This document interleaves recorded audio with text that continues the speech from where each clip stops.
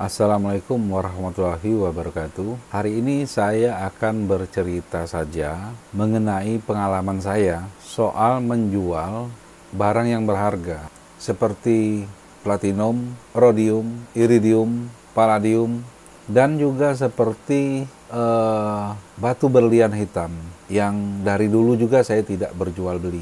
Jadi du, dua macam jenis barang ini ya dari logam PGM sampai ke batu berlian itu menawarkan ke saya. Tentu saya tidak berjual beli lagi pada video kemarin yang sudah saya jelaskan. Jadi dua logam ini yang paling banyak yang ditawarkan ke saya tapi kurang logis. Contohnya ada orang yang ingin menjual iridium. Dia sanggup menjual iridium sedangkan saya tidak jual beli iridium. Sanggup melemparkan ke saya 15 kilo tetapi ingin orang datang ke sana dan mengecek iridiumnya lalu bayar. Dan saya bilang bahwa saya aja menjual bahan seperti itu, seperti platinum, palladium, saya jual ke teman saya yang saya percaya dan saya pun tidak tahu dia jual ke mana. Intinya saya terima duitnya, bagi saya deal, masuk, ya sudah lepas, saya tunggu, duitnya datang, sudah. Lalu ingin menjual iridium yang katanya sanggup melempar iridium 15 kilo. Dan saya sudah kasih tahu tadi kan metode saya. Lalu tetap saja menelpon saya gimana cara jualnya. Padahal itu jalan buntu kan. Nah di sinilah maksud saya. Kalau saya ingin menjual, masa saya menyuruh orang ke tempat saya tanpa ada pendekatan yang lebih kuat atau pendekatan ilmiah. Contohnya saya misalnya mau jual palladium. Saya buktikan paling tidak melalui pendekatan lalu saya buat videonya ini iridium pendekatan secara ilmi ilmiah atau ini palladium dicek dengan stanus ini warnanya seperti ini barangnya ada berapa banyak dan jika memang saya kesulitan uh, menjualnya ke tempat saya agar bos-bos pembeli palladium taruhlah kesulitan ke tempat saya dan memang ini kalau kita yakin bahwa ini palladium ataupun logam berharga, kalau ini punya saya, saya sanggup membiayai datang ke tempat saya. Tapi harus paling tidak kita itu melalui pendekatan yang ilmiah. Contohnya tadi, kita buat pengetesan palladium dengan stanus karena seluruh dunia uh, menggunakan stanus, bukan mengecek persentase palladium ya misalnya ya, tapi mengecek paling tidak bahwa di situ ada palladium. Kita buatkanlah video supaya orang lebih berminat, lebih tertarik. Walaupun masih juga kalau menurut saya kita nih mau jual masa nyuruh bos ke tempat kita, sedangkan bos bos bos yang mau membeli palladium, platinum mereka duduk-duduk saja di tempatnya orang berdatangan, menawarkan palladium, menawarkan iridium dan segala macamnya. Masa kita yang tidak tahu apa yang kita pegang ini dan sudah lumrah Contohnya seperti orang yang menjual platinum batangan yang banyak dijual di internet. Platinum batangan yang berukuran beberapa puluh atau 10-12 cm dengan tebal 2 cm atau 1 cm itu banyak sekali. Dan sampai saat ini pun saya belum pernah setiap orang yang mengirim platinum seperti itu asli platinumnya. Lalu kita menganggap itu asli, menyuruh datang bos yang duduk-duduk saja yang dianya hanya duduk-duduk di tokonya lalu orang berdatang menyuruh dia datang mengeceknya. Ah, tentulah bos-bos pembeli platinum atau palladium tersebut sudah banyak menemui tipikal manusia seperti kita yang membawa platinum palsu. Tidak mungkin jadi dia Contoh melemparkan ke saya, Pak carilah bos-bos suruh datang ke tempat saya, saya banyak barangnya. Sedangkan pembuktian secara ilmiah itu nggak ada. Contohnya membuktikan platinum, ya juga dengan stanus. Platinum, palladium dengan stanus. Seluruh dunia menggunakan stanus paling tidak. Itu paling tidak ya, bukan uh, stanus itu mampu membedakan persentasenya, enggak. Tetapi paling tidak indikasi awal dengan stanus. Ini kita mau menjual iridium yang sudah pasti lebih sulit lagi memprosesnya, lalu disuruh bikin stanus saja, bukan disuruh bikin, mengecek dengan stanus saja tidak tahu. Nah kan aneh itu. Kita mengecek, kita bisa jual iridium, itu luar biasa setengah mati memprosesnya. Kita suruh bikin video malah tidak mau. Ah, pokoknya datang saja misalnya. Bosnya ajak ke sini, kita sanggup kontrak. Segala macam lah, pokoknya hal-hal yang yang di luar dari logika ya. Ah, jadi harusnya kalau saya jadi penjual yang seperti itu, saya mau jualan nih, saya punya paradigm, ya saya membuat satu video pendekatan secara ilmiah. Mungkin walaupun kita eh, tidak mungkin mendatangkan bos-bos tersebut ke kita. Mungkin ada satu atau dua yang tertarik, maka saya nasihati seperti itu. Dengan kita membuat video yang yang logis, yang ilmiah, mungkin ada orang yang masih berani mendatangi kita. Ya seperti itu paling tidak kita melakukan pendekatan yang ya masih bisa diterima. Nah, saya berikan gambaran yang lebih eksplisit lagi. Contoh, kita mempunyai emas batangan satu kilo misalnya, atau berapapun kilonya. Datang ke toko, tidak pernah ke toko emas tersebut, datang membawa emas satu kilo. Ini dicek toko emasnya sudah pasti tinggi, misalnya 22 karat ataupun 24 karat lah. Nggak mau tokonya. Kecenderungannya tokonya nggak berani beli kalau kita belum pernah sama sekali menjual atau belum begitu dikenal orang di toko tersebut. Daripada kita dia kena masalah, lebih baik dia tolak. Belum tentu orang mau belinya kalau kita bawa satu kilo. Mungkin kita harus coba dengan menjualnya potongan sedikit, cuma satu gram. Besoknya satu gram, besoknya 10 gram. Baru tunjukin, nah saya ada 10 kilo. Mungkin mau dia seperti itu. Apalagi yang kita cuma bisa tunjukin ini besi apa logam yang berwarna putih ini loh ini iridium ini loh paradigma tidak mau orang. Karena sudah banyak sekali dia pasti mengalami hal yang mengecewakan daripada yang menyenangkan.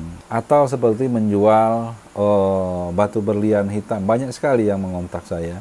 Sudah saya jelaskan semua saya tidak jual beli. Dan mereka juga ya sama tipikalnya dengan penjual keumuman penjual barang-barang mahal seperti ini mereka ingin datang, ada saudagar atau ada bos-bos yang datang ke mereka untuk melihat beliannya. Nah itu tidak nyampe logikanya. Karena ya tentu saja bos-bos yang punya toko perhiasan itu setiap hari dia duduk-duduk saja mungkin ada satu atau sepuluh orang yang menawarkan berlian. Ngapain dia untuk mencapai kita yang tidak pasti berliannya yang hanya modalnya dites ditiup, dites diuapin, dites dipanasin, itu masih terlalu banyak. Masih terlalu banyak kemelesetannya. Kalau kita memang punya belian besar, apa masalahnya kita membeli alat yang paling murah? Misalnya nih saya punya belian besar nih, saya ngeri bawanya, takut ditipu orang. Saya gunakan pendekatan ilmiah. Contohnya, saya beli ruby yang murah saja, yang penting ada memonya. Saya gores ruby tersebut dengan berlian. Seharusnya berlian tersebut sangat mudah menggores ruby. Dan ruby tersebut, kalau kita suruh gores berlian,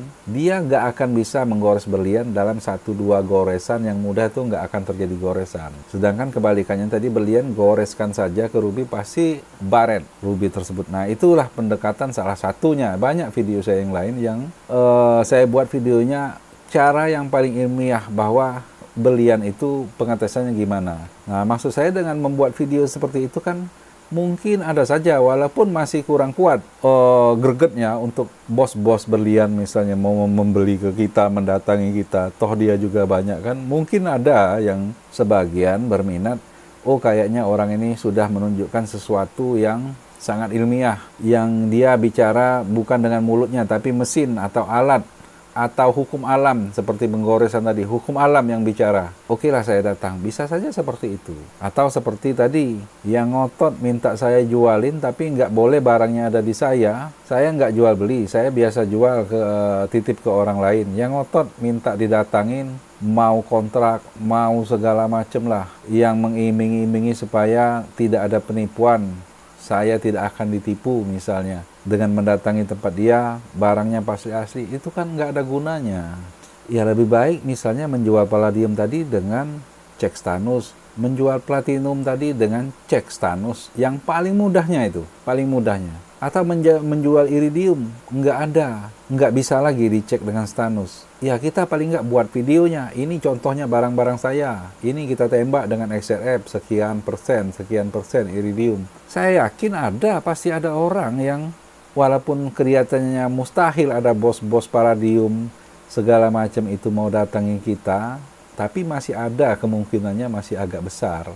Misalnya nih, kita perkuat dengan logika ini ini iridium nih misalnya atau palladium nih pasaran 800 ribu saya jual 700 ribu saja barangnya banyak ini pengetesannya Nah, itu kan membuat orang lebih lebih greget untuk mendatangi kita. Kalau cuman saya punya besi warna putih, ini palladium sekian gram, sekian kilogram, mampu sekian kilo per, per, per bulan. Ya dari mana kita berharap orang percaya kita yang kita pegang memang palladium.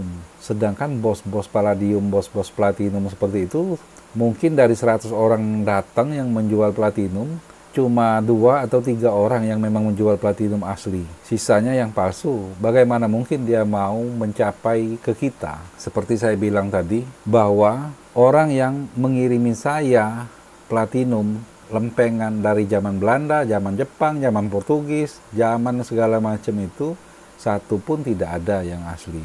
Jadi kalau ada orang, Pak saya punya satu peti bertonton platinum seperti ini, ya saya nggak akan datang lah. Karena saya sebagai yang biasa ngeceknya, kebanyakan tidak asli. Kebanyakan tidak asli, bagaimana mungkin saya mau menghabiskan waktu saya ke sana, menghabiskan biaya ke sana, yang didatangi juga yang ke kemungkinan besar seperti itu. Nah, jadi nasihat saya cuman seperti ini, bukan untuk mengejek, mengata-ngatain segala macam karena faktanya banyak sekali dua macam barang ini yang ingin dijual ke saya. Seolah-olah saya penampung barang berharga.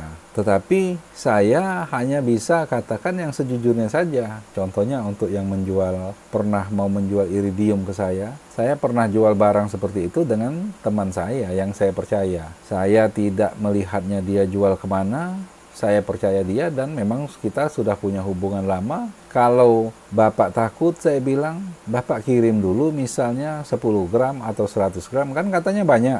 Tes transaksinya, oh biarlah Pak, nanti saya bawa langsung ke tempat pengepulnya. Di mana? Nah, saya bilang dari mana saya tahu bahwa saya tidak akan diloncati. Saya pun pernah bilang ke teman saya, biarlah namanya Aris, Riz, biarlah Aris saya aja jual langsung nanti gimana? Saya tahu Jul, kamu tidak akan meloncati secara langsung ke tempat orang kenalannya dia, ke bosnya dia. Dari mana dia tahu? Kan dia tidak tahu, benar juga kan katanya kan? Sama seperti itu. Jadi yang jelas saya tidak jual beli barang-barang seperti seperti itu saya tidak menampung bak logam yang sudah jadi. Tapi kalau mau dijualkan ya bisa. Dan paling tidak itulah tadi gunakan logika-logika yang kuat dalam menjual barang ini dengan pemberian bukti-bukti secara ilmiah, bukan memakai perasaan atau memakai sesuatu yang kurang kuat dasarnya. Contohnya, ini loh cairan paradium misalnya warnanya uh, ember misalnya, agak kemerahan. Apakah sudah pernah melihat besi dengan nitrat atau besi dengan HCl dengan kondisi tertentu?